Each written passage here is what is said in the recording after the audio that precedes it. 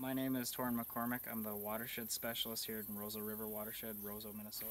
Uh, we're located at the outlet of County Ditch 8 into a intermittent stream that eventually outlets into the Roseau River.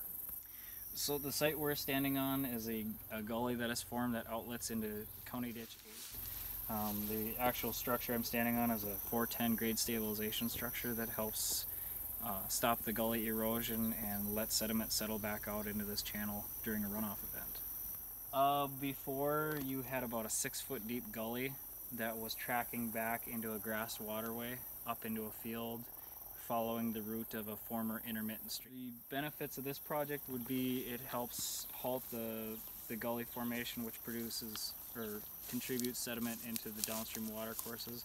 It also allows uh, suspended solids in surface water runoff to settle out and then basically fill this in over time so you're reducing your sediment contribution overall downstream.